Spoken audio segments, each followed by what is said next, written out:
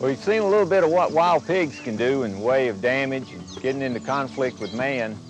Alabama is blessed with very healthy populations of wildlife, and as our population of humans continue to grow along with this successful wildlife increases, we're running into more and more conflicts between the two. And there's a wide variety of ways to deal with that. We generally try to focus on controlling the damage as opposed to focus on controlling the critter itself. And that's what we'll talk a little bit about today, specifically with beaver. When landowners call us with the wildlife problem, one of the most frequent questions is how can we catch these animals to remove them from our property? The, the overriding thing is to remember is it's very important to match the trap to the animal and to run these traps early in the morning. For the restraining traps, again, remember these, these traps catch the animal alive and hold it until you get there. The next type we'll talk about are the body gripping traps.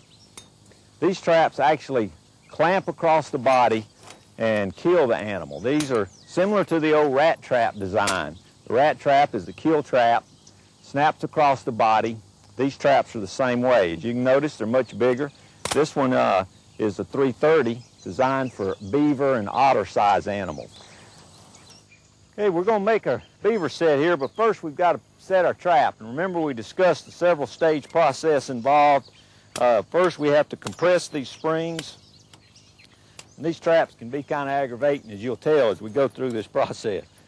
Uh, one of the, these springs are fairly strong, so one of the easy ways to do it is with a rope, probably easiest. They make big metal setting tongs and some other techniques, but this is one that most landowners can do. You just take a rope, wrap it around your foot and pull it through those eyelets once, come back around, through it again, and then when you pull up, it'll compress these springs. You can bend down and set that safety hook. It's important when you're handling these, keep these safety hooks on because that'll keep it from really hurting you if it sets off accidentally. Get our springs out to either side. Triggers in the middle. And then compress the jaw.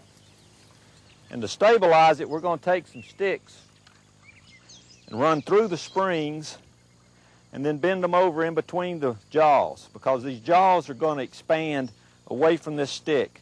It'll allow the springs and the jaws, to, but still stabilize the trap. So after we've got it in place, we'll run our sticks down in. We've got our trap in place now. We're going to put a now our stabilizing stick's in place.